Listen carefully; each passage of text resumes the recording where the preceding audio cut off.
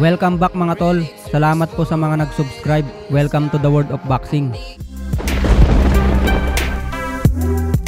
Ryan Garcia, todo ensayo ngayon sa kanyang training at pinaghahandaan talaga ang darating na laban nila sa kababayan natin na si Romero Duno sa November 2. Magiging comment event sa laban ni Canelo Alvarez at Sergey Kovalev. Talagang kinuha pa si Canelo Alvarez bilang sparring partner para madagdagan pa ang kalaman nito sa boxing. Kasama sa itinuro ni Canelo Alvarez ang inside fight at paggamit ng body shot, epektibong paggamit ng uppercut. Counter puncher din naman ito si Ryan Garcia. Outboxer ang estilo ng laban dahil mahaba ang reach advantage. May knockout power at mabilis ang mga kamay. Kaya kung idagdag sa laruan niya ang inside fight at paggamit ng body shot, sigurado magiging effective ang style niya sa laban nila ni Romero Duno. Pero makikita naman sa katawan ni Ryan Garcia mga tol. Hindi tigasin, mukhang malambot tignan. Kaya malaki pa rin ang tsansa ng ating kababayan na mananalo sa laban. Tigas ng panga at katawan ang puhunan ng ating pambato sa laban. Pero syempre, pag-aaralan din yan ng kampo ni Romero Duno kung ano ang kahinaan ni Ryan Garcia. Huwag lang sasabay sa bilis dahil luging-lugi sa bilis.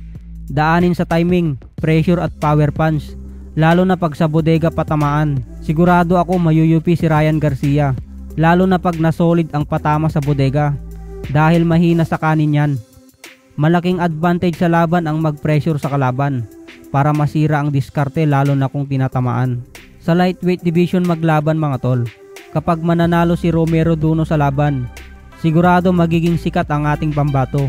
Huwag lang maging pabaya mga tol, baka masilat makakita ng between sa langit.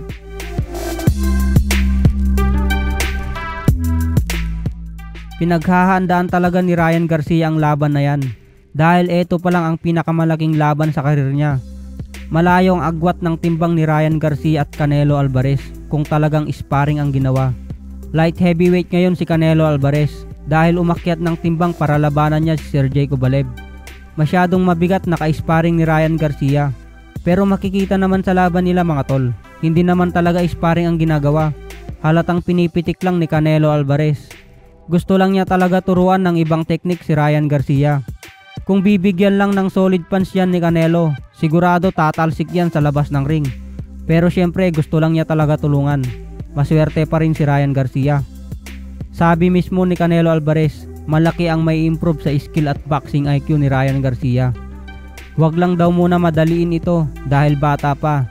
May tamang oras at panahon daw ito na maipapakita niya ang kanyang husay sa boxing lalo na kung magkaroon ng world title na laban. Dito pa lang magsisimula ang malaking laban ng dalawa mga tol. Kaya importante ang mananalo sa laban dito dahil sigurado aangat ang pangalan. Si Ryan Garcia kilala na yan sa boxing dahil sa dami ng followers sa social media. Panay pakyut ba naman ang ginagawa para marami ang magpatorjak sa kanya. May record na 18 wins, 15 knockout win. Si Romero Duno naman, may record na 21 wins, 1 loss and 16 knockout win. Kaya sigurado magiging maganda ang laban ng dalawa mga tol. Pati na rin ang laban ni Canelo Alvarez at Sergey Kovalev sa light heavyweight division. Good luck na lang sa ating kababayan na si Romero Duno. Patigasin mo pa ang pangamotol. Sigurado ikaw ang magwawagi sa laban. Ano sa tingin nyo mga tol? May knockout kaya na mangyayari sa laban ng dalawa? Comment lang tol. Hanggang dito na lang muna mga tol. Maraming salamat po sa panonood at pagsubaybay. Hanggang sa muli, Boy Bakal.